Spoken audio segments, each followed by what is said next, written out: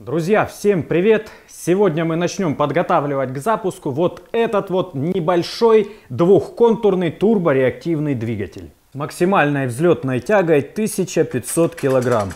Видите, какие здесь титановые лопатки. Движок от пассажирского самолета Як-40. Запустить такого монстра весьма-весьма непросто. Даже знаете, что придется сделать? Придется присоединять здесь все точно так же, как в самолете. А в самолете для запуска этого двигателя используется еще один турбореактивный двигатель. Вот в этом-то, собственно, и вся загвоздка. Чтобы его запустить, нужно предварительно научиться запускать пускач. Пускач, кстати, тоже довольно-таки большой. Он примерно вот таких размеров, как вот этот наш любимый АИ-8 толстяк. Ну и раз уж я здесь, в этом помещении, я вам так по-быстрому на пальцах расскажу, как он запускается. Нужно иметь всего лишь три вещи. Собственно, сам турбореактивный двигатель маршевый, плюс вспомогательную силовую установку, которая вырабатывает воздуха 0,4 кубометра в секунду и давление до 3 атмосфер. И центральное звено это вот этот воздушный стартер. Небольшим ВСУ мы, собственно, вот сюда подаем тот самый воздух, а с этой стороны у нас есть муфта, которая подключается к двигателю. Подключается не сюда, а с другой стороны. Ну, я не могу долезть немножко, ребята, показать. Тут с одной стороны генератор должен быть, вот здесь как раз таки. А с той стороны наш воздушный стартер. У него, кстати, мощность, вот он такой вот, видите, небольшой.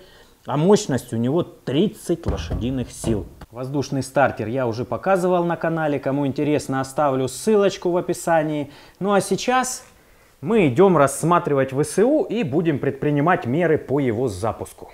Вот он, пусковой газотурбинный двигатель АИ-9. Красавчик, не правда ли, друзья? Первоначально нам нужно пускануть его. Для этого придется подключить все как положено, все системы запуска, все кнопки, всю проводку повторить точно так же, как это сделано в самолете. Я думаю, вам такое должно понравиться. Но при данном подключении есть одна опасность. Если что-то сделать не так, движок может пойти в разнос. Ибо все работает в автомате и он будет раскручиваться сразу на максимальную мощность. Существует более крутая модификация, у которой вместо электростартера установлен стартер-генератор. Та ВСУ еще и электричество может вырабатывать, но у нас чисто воздушная тема, чисто гигантский компрессор, примерно на 25-30 тысяч литров в минуту. Турбина раскручивается до 38 тысяч оборотов в минуту, и всех, как всегда, наверное, интересует расход топлива. Расход здесь в принципе небольшой. Топливо подается и регулируется вот этим насосным агрегатом в количестве 75 кг в час. Самое сладкое в этом двигателе то, что наконец-таки он полностью работоспособный. Все мои движки приходилось запускать с закрытыми глазами, потому что они фактически были все утильные, все разбирались до меня, все были то с ржавыми подшипниками, то с потерянной балансировкой после разборки. Здесь же все должно быть очень круто в этом плане, потому что на него есть даже формуляр, а в формуляре написано, что из двух с половиной, либо из трех тысяч запусков, я уже точно не помню, выработано всего 500 пусков. Остальные можно производить даже на самолете. Вот такая крутотень, ребята. Единственный косяк, который здесь был, я устранил. Обратите внимание на эту суперсварку. Это уже я постарался.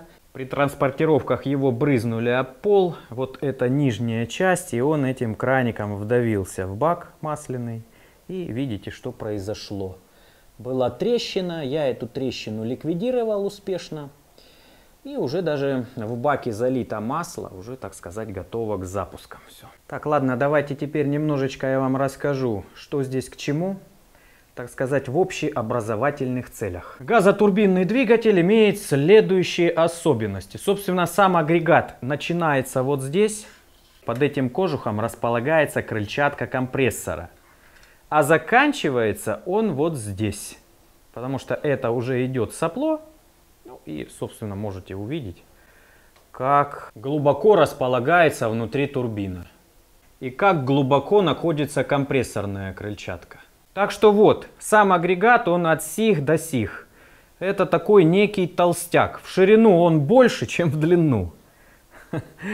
Он такого шарообразного круглого типа. У него 8 форсунок для подачи основного топлива. Также есть пусковая форсунка. Пусковая форсунка, как обычно, объединяется со свечой. Видите, очень легко все понять. Идем по проводу дальше и смотрим, откуда идет у нас высокое напряжение. Вот он модуль KR12SI, который вырабатывает, собственно, напряжение на свечу. И опять же, если пойдем дальше по цепи, увидим, как его запитывать. Вот на этот провод подаем 27 вольт, и у нас сразу же начнет вырабатываться искра. Вот эта круглая коричневая штука представляет из себя алюминиевый масляный бак. Заливается всего лишь 2 литра масла. Кстати, ВСУ не особо долго может работать. У нее всего лишь 3 цикла запуска маршевого двигателя. Далее нужно отдыхать ему. Не знаю, с чем это связано. Скорее всего, по моим прикидкам, по моим догадкам, как раз таки с емкостью масла. И с тем, что это масло здесь фактически никак не охлаждается. То есть, если бы внутри проходил теплообменник, чтобы подаваемое топливо свежее охлаждало одновременно масло, думаю, все было бы сильно лучше. И ВСУ могла бы долго работать, если бы было масляное охлаждение. Может быть, мы еще добавим такую функцию, и он у нас будет охлаждаться. Посмотрим. Пока нам бы хоть как-то его, хоть вообще просто запустить, чтобы он работал и не перепаскудить. В центре, как всегда, электростартер. Такой и на турбостартере, и на АИ-8, то есть используется повсеместно. Он раскручивает ротор примерно до 18-20 тысяч оборотов. После чего отключается. Там внутри есть контактная группа, которая либо его отключает, либо автоматика, не дожидаясь, пока он сам отключится, отключает электростартер. Ну, то есть, если двигатель вышел в режим, например. Снизу топливная аппаратура. Я здесь так перевернул немножко. Как раз должен стоять топливным насосом вниз. Внутри много различных регулировочных клапанов, вот можно видеть. Я надеюсь, что этот узел хорошо настроен. Прежде чем начать его подключать, я, естественно, скачал чертеж, схему подключения и различную другую документацию, чтобы поближе ознакомиться с газотурбинным агрегатом. И, например, разобраться, что вот это за штуковина. А это как раз таки и есть штуцер подвода воздуха. Нужно будет еще, конечно, как-то приколхозить какие-то шланги, какие-то трубопроводы. Это сбросной клапан, как я понимаю. Если ничего не идет на раскрутку с рабочего отверстия, то воздух сбрасывается через этот клапан. Шланг подвода топлива. Подающий насос у меня уже есть. Помните, я делал синюю бочку? Вот как раз таки с нее можно будет сюда подавать под напором. От 0,5 до 1 атмосферы. Смотровое окошечко в баке масляном имеется, заливная горловина, различные соленоиды, клемма подключения, э, датчик давления масла. Ну и, как всегда, все оплетено трубопроводами. В общем, нравится он мне, ребята. Нравится тем, что все есть, даже масляный бак. Все, можно потихонечку начинать его подключать. Произошла одна небольшая неприятность у меня. Часть файлов куда-то пропала. Там я разбирал вот такие мозги для двигателя. То есть это автоматическая панель запуска. Но на АИ-9 используется другая панель. Это именно для самого движка. Поэтому, так как я уже там все подключил, друзья, разберу вот эту, точнее сниму крышку, потому что хочется показать вам, что там внутри. Все-таки мы не каждый день мозги от авиационного двигателя рассматриваем. Думаю, будет интересно. Лихо, конечно, здесь все откручивается. Итак, посмотрим. О, в общем-то, такие же точно мозги были и на самом ВСУ. К сожалению, ничего мы там не увидим. Все самое интересное внутри. Но зато можем увидеть, как устроено. Видите? Для большей надежности залито силиконом. Вот это вот все внутри заполнено силиконом. Все выходы проводов. Здесь у нас несколько реле установлено. Вот это, ну не знаю, более-менее силовое реле. Это не знаю что, все залито. Ну а внутри, собственно, запаяна автоматизация. Там моторчик вращает кулачки, которые нажимают на микрики. И эти микрики с определенным запрограммированным алгоритмом подключают то подачу на стартер, то подачу на искру, на соленоид и так далее. Заранее запрограммированным алгоритмом. Ох, что-то как-то быстро дело пошло. Ну а по-другому и не может быть. Потому что смотрите, какая схема. Пока я в ней разобрался, ушел примерно целый день. Потом я начал все это дело подключать. И, сами понимаете, если на полпути бросить, то все забудется, что где было, и придется опять потом изучать целый день эту схему. Поэтому такие вещи лучше сразу проанализировать и сразу сделать всю электрику. Вот этот ящик я собрал самостоятельно. То есть здесь ничего не было. Теперь у нас два мощных контактора, один на 200 ампер, другой на 400. 200-амперный подключает всего лишь резистор. Выполнено как на Бэхе, если кто помнит. Система примерно такая же. Это нужно для того, чтобы было безударное во-первых, в электрическом смысле, а во-вторых, в механическом, включение стартера. То есть сначала лайтовенько через резистор контактором подключается 200-амперным, а потом уже замыкается мощным реле и идет полноценная мощнейшая раскрутка. Вот этим стартером до 20 тысяч оборотов раскручивается рабочий ротор этого ВСУ. Также тут у нас по схеме есть еще некое реле, и я его сюда тоже в эту корпусину установил. Уже все подключил и уже я вам больше скажу. Оно уже фактически работает. Не подключена лишь силовая схема. То есть нужно кинуть пару проводов э, мощных. Один э, сразу на аккумулятор идет, на минус. А второй идет как раз таки через наш вот этот блок. Вот сюда он заходит, сюда выходит. И все. Автоматика должна работать. Соединил, гляньте на какие шины. У меня они были в наличии, вот здесь хранятся в спецкоробочке. Всякие разные медные мощные шины. Ну и я их решил использовать.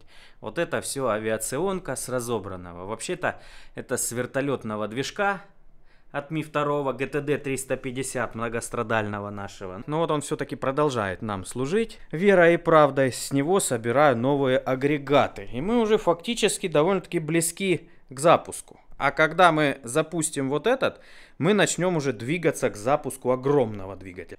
Вот такое рабочее место. Здесь паяльник мой любимый. Правда, что-то плохо он запускается в последнее время. Как-то через раз. Здесь я храню всякие разобранные коннекторы. Это посеребренные разъемы авиационные.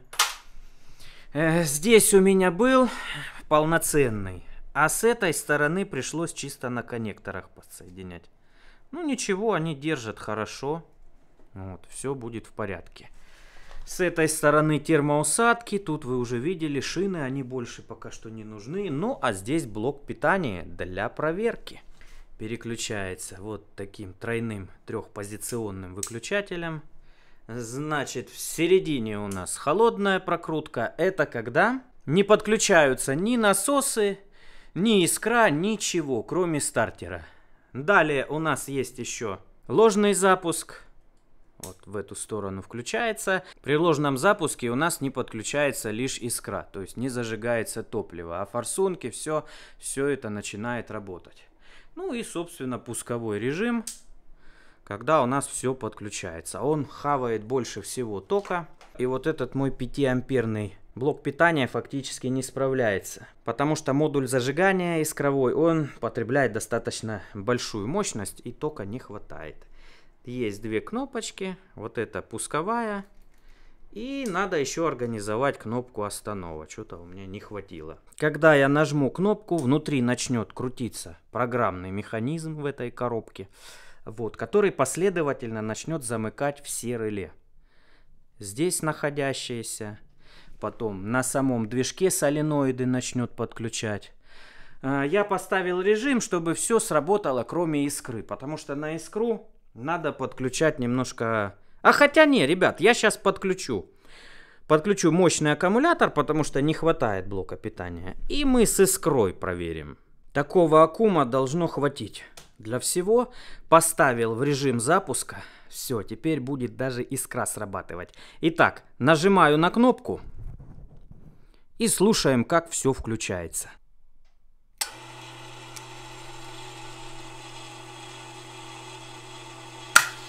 О, искра пошла, силовые реле. Шумит искра. Еще что-то включилось. Либо отключилось. Опять что-то зашумело.